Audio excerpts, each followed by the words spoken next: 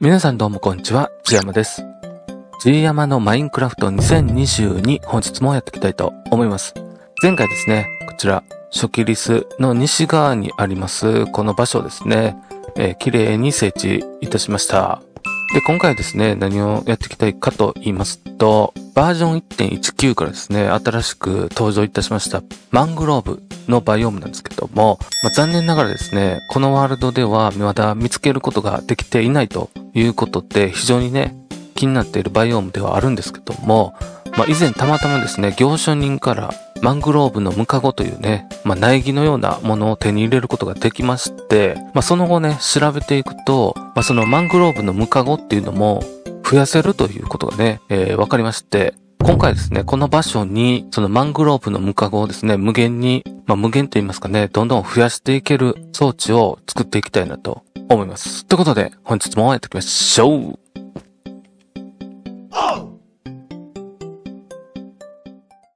G 山のマインクラフト2022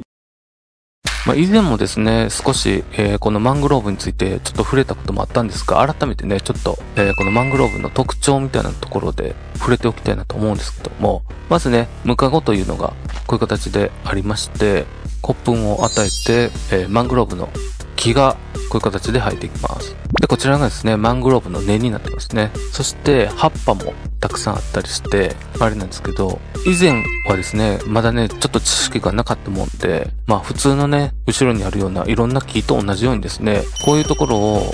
葉っぱをね、こうやって回収すれば、苗木が手に入るものだとね、勝手に思ってたんですけども、どうやら違うみたいで、普通にね、こうやって葉っぱを買ってしまうと、苗木をね、落とさないという性質がありまして、じゃあそれをね、どうしたらマングローブのムカゴをね、手に入れることができるんだっていうことなんですけども、はい、こちらね、えーマングローブの葉っぱがあるんですけども、などね、ここに骨粉をかけてあげると、こういう形で、ムカゴのね、芽の部分が出てくるんですね。で、さらにここのむ芽に向かって骨粉をさらに足してあげると、こういう感じで成長していきまして、これでマックスになります。で、これをですね、回収してあげると、ムカゴが手に入るということを、えー、まあ、最近になってね、知ったんですけども、まあこのね、骨粉を上げるっていう、このね、方法を今回は自動化していこうということで作っていきたいと思います。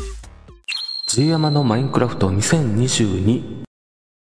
でですね、今回、このマングローブのムカゴ製造機を作るにあたって、参考にさせていただいた動画があるので、そちらの方はですね、概要欄の方にリンクを貼っておりますので、ぜひそちらの方もね、見ていただきたいなと思います。そしてですね、今回装置を作るにあたって必要な素材の数であったりとか、えー概要欄の方にね、書いておこうと思いますので、まあ、気になるなって思っている方は、ぜひそちらの方もご覧ください。ではですね、装置の方作っていきたいと思います。まずはですね、こちら、樽を設置しまして、樽の方に向かってレバーを設置しまして、こちらね、動力を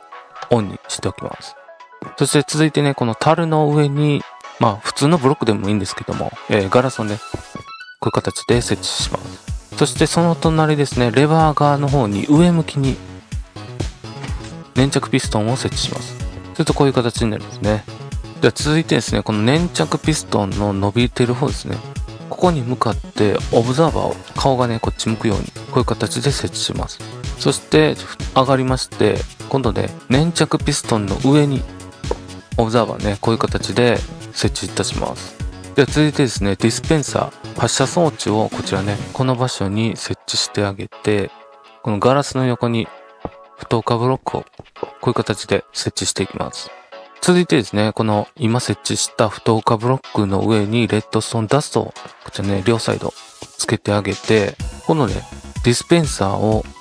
こう内側に両方向くように、こういう形で顔を向き合うようにね、設置していきます。そしたらですね、今度は上に一旦ね、登っていただいて、えーこの左側のディスペンサーの方ですね、この上にリピーターを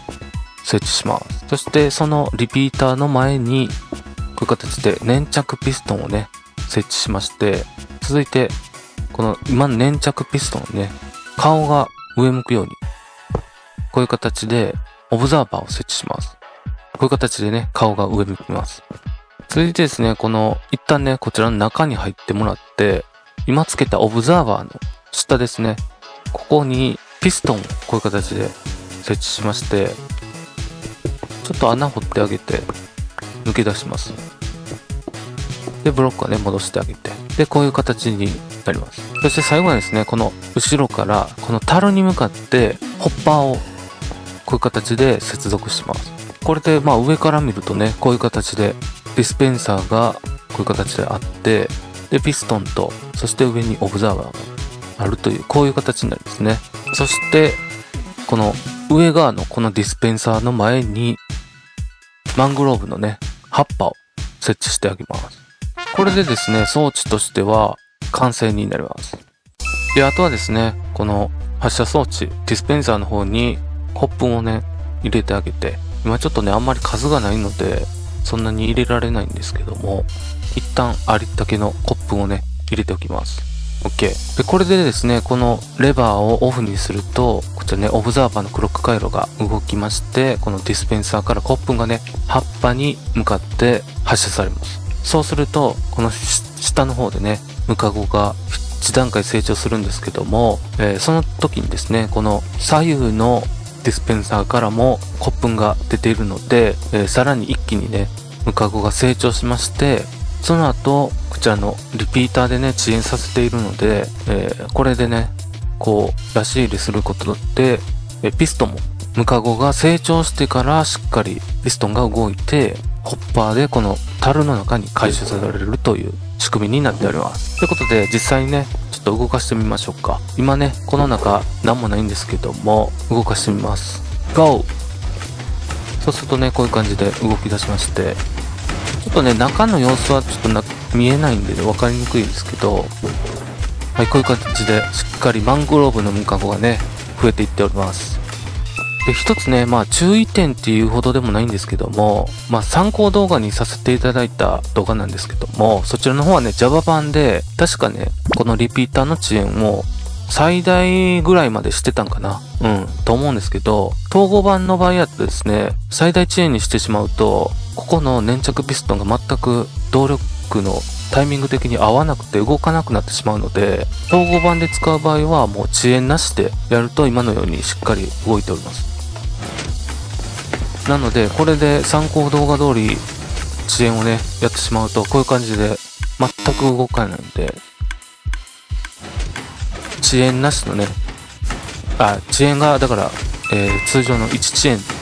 だとちょうどタイミングよく動いてくれるということになっております。これでね、どんどん降っていってますね。OK。